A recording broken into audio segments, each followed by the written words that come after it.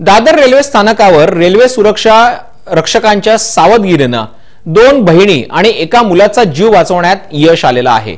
अठरा तारखेला संध्याकाळी सात वाजता प्लॅटफॉर्म क्रमांक चार वर कर्जतला जाणारी लोकल आली. या लोकलमध्ये एक बहीण आणि तिचा मुलगा चढला आणि लोकल सुरू झाली.